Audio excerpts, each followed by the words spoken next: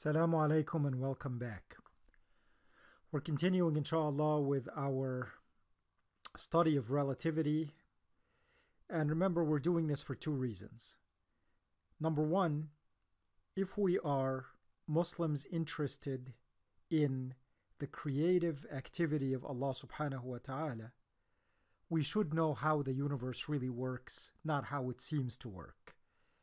And Einstein's special relativity goes a very long way toward that. It overturned thousands of years of very strong human intuition about how the universe works, as we have seen in the previous episodes. Secondly, I believe, and I hope you agree, that this understanding gives us a richer appreciation of some verses in the Quran. But this understanding, a genuine understanding, doesn't come cheap. It means we have to roll up our sleeves and we have to do some hard conceptual work. And I sincerely hope you're not put off by that because you, frankly, deserve that. You deserve in depth treatment, not superficial generalities. And the Quran certainly deserves that. And science deserves that. And so we will now push on to see some other truly amazing consequences of the special theory of relativity. And for this, we need to introduce the notion of frames of reference, which we've already talked about, but let us look once again in a little bit more detail at the stationary observer, and here's his frame of reference. We call it an x, y, and z axis where any event can be located in space along the three axes, and here's the moving frame of reference, and imagine that it's moving just along the x-axis with the moving observer moving at a speed v. That's his velocity. So at time t, he moves a distance v times t on the x-axis relative to the stationary observer. So the question becomes, if an event happens at a certain coordinate in the frame of reference of the stationary observer.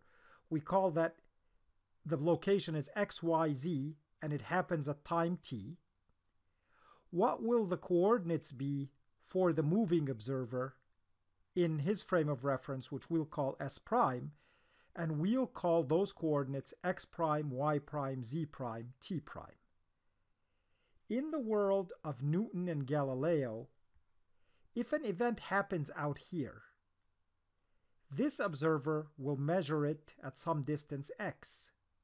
This observer will have already moved some distance along the x-axis, so when he comes to measure that event, his x prime will be less. So his x prime will be less than x for this observer, but the y coordinates are the same, the z coordinates are the same, and certainly time is the same.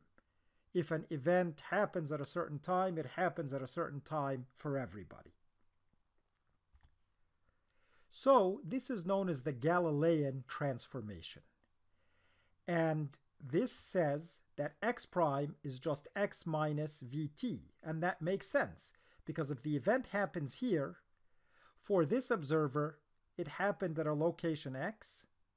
For the moving observer, he has already moved the distance vt, so we simply take this x and subtract this part vt, and we get that he measures it at x prime, which is x minus vt, but y prime is y. It's still the same location on the vertical axis. z prime is z, and time is absolute. t prime is t.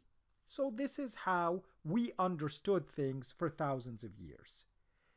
As we saw, relativity taught us that things are different, and the transformations in relativity are given by what are known as the Lorentz transformations, and you see that the equation for x prime is no longer x minus vt, it's x minus vt divided by now our famous gamma factor, 1 minus v squared over c squared. y prime remains y, z prime remains z, but again, time is not absolute. t prime is no longer t. t prime is given by this equation here. And what I want you to notice here is that now space and time are amalgamated together so that time depends on the velocity of the moving observer and on the location where the event occurs. And so we can no longer separate out time and say, this event happened in space. And yes, I understand that if I'm moving, I will get a different space coordinate than you will get, but of course we'll both get the same time. No. Now, my time is different from your time, and that difference depends on our relative velocity and where the event happens in space. So space and time can no longer be separated out. We have to now think in terms of a unified synthesis called space-time. And space-time is really the new synthesis of relativity, and we can think of it like a loaf of bread, that each, lo- each slice in the loaf of bread represents a point in time, and across the loaf of bread, this is all space. So we'd imagine that space is two dimensional and time flows this way. So these are all times, say in the past, and here these would be the future. Or if you want to think about it, these can be the past, and we move this way into the future, but every slice represents one slice of time, and events in space move through time.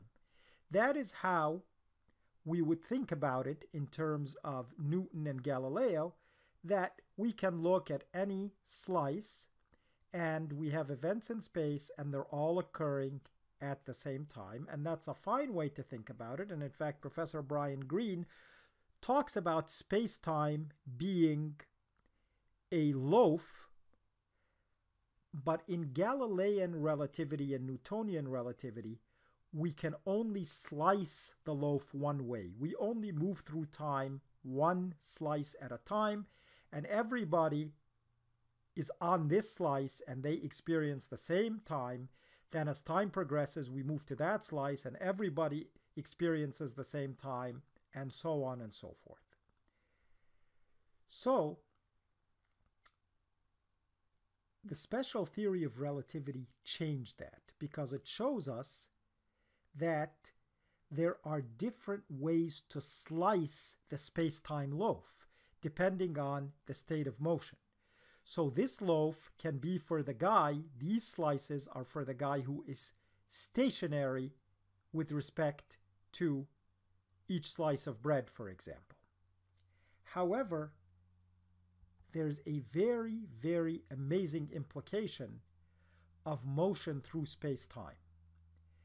And to preface this amazing implication, let's look at this verse from Surah Luqman. أعوذ بالله من الشيطان الرجيم إن الله عنده علم الساعة وينزل الغيث ويعلم ما في الأرحام وما تدري نفس ماذا تكسب غدا وما تدري نفس بأي أرض تموت إن الله عليم خبير Verily the knowledge of the hour is with Allah. It is He who sends down rain and he who knows what is in the wombs, nor does anyone know what it is that he will earn on the morrow, nor does anyone know in what land he is to die. Verily, with Allah is full knowledge, and he is acquainted with all things.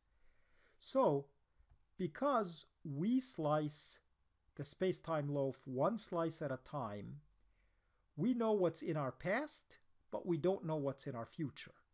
However, one philosophical interpretation of the special theory of relativity is that the entire space-time loaf already exists and this future is known but just not known to us but that the space-time loaf is already here and that is a consequence of the Lorentz transformations as we will soon see.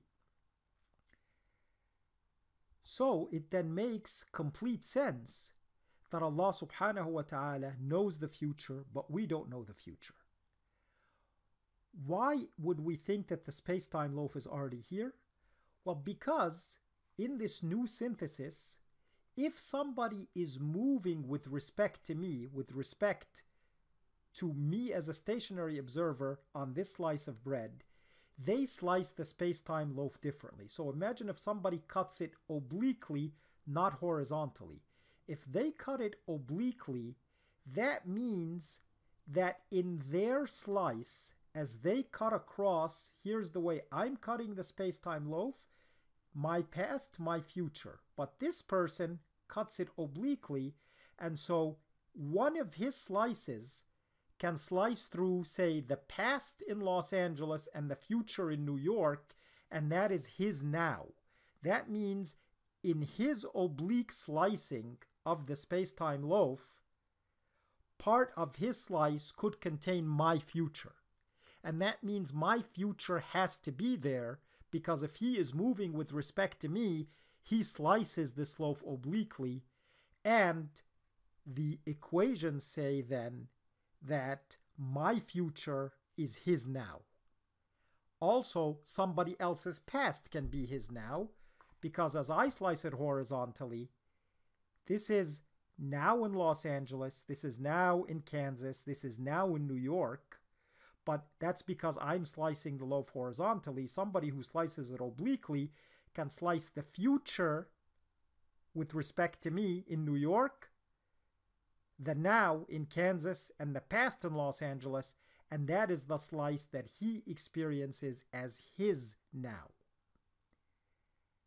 We will, inshallah, continue with this theme and take a look at how can this relate to verses in the Quran in the next episode because I don't want to be too long in any one episode. I hope inshallah we will see you for the next one. Salamu alaikum.